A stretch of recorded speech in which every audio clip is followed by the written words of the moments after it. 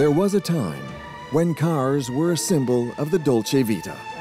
Back in a carefree world when filling the gas tank cost next to nothing and represented freedom. And then that carefree world came to an end with the brutal shock of the rising price of fuel. Blackmail and threats. For the oil producing countries, the black gold became a political weapon. Our dependence on oil would cost us dearly. And it was only a beginning. The worst was yet to come, with the fateful day when the world's oil reserves would finally be exhausted. What would we do then without oil? The world's oil market is in a free fall. Between June 2014 and January 2016, the price of the barrel loses 70% of its value. The three giants of oil, the Americans, the Russians, and the Saudis, will then begin playing an incredible game of oil poker. Strategic changes, reversals of alliances, a whole world order, both economic and geopolitical, is reversed. Meanwhile, a worldwide energy transition is underway.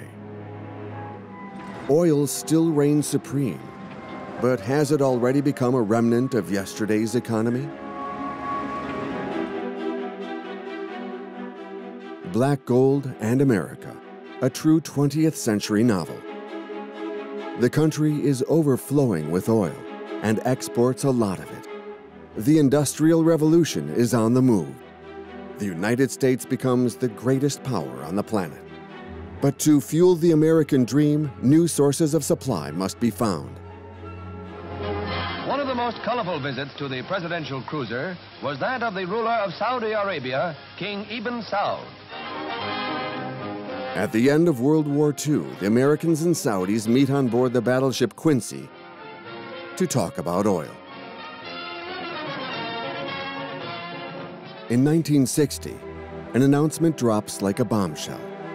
Exporters from the Middle East and Venezuela join together in a cartel to defend their interests and weigh in on oil prices. OPEC, the Organization of Petroleum Exporting Countries, is born and intends to dictate its terms. In 1973, OPEC announces its first important decree.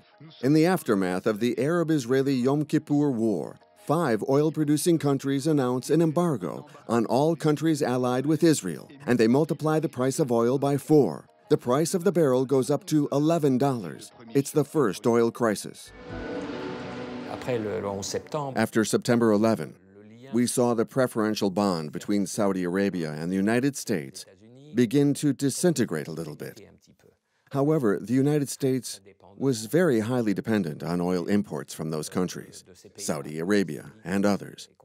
And we begin to see the Americans, via the companies Exxon, Mobil, Chevron, Texaco, moving slowly away from Saudi Arabia and into Africa, which was an area that was still relatively untapped. And they went massively into Angola and Nigeria, into all the countries of the Gulf of Guinea. The post 9 11 era is shaking up the United States oil supply strategy. In the next three years, the price of the barrel will more than double. The latest oil crisis has recomposed the geopolitical landscape, and the reversals of alliances are spectacular. In 1945, oil brought King Ibn Saud and President Roosevelt together for their historic meeting. This time, King Salman of Saudi Arabia has traveled in person to meet President Putin.